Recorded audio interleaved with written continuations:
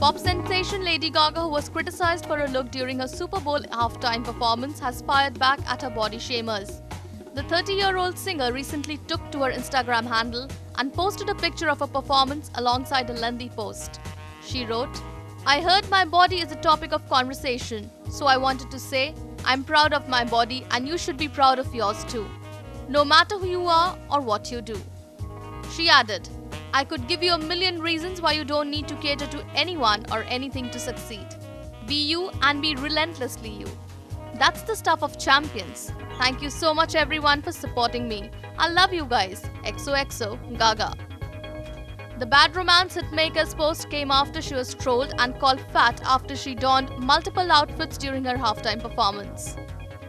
Well, Lady Gaga's post truly proves she's proud to have been born this way.